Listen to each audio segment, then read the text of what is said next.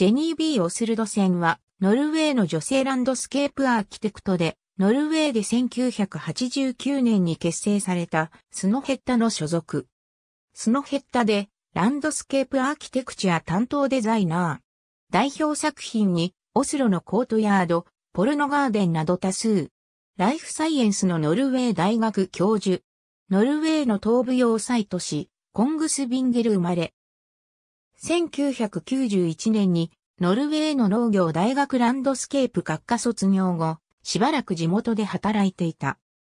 1993年から1994年にかけてフルブライト奨学金でロータリーからの国際親善奨学金を得てロサンゼルスに渡りカリフォルニア州立理工大学ポモナ校アート学修士課程でランドスケープ学を専攻。1994年リレハンメルオリンピックでのプロジェクトに従事。1995年からスノヘッタに参加。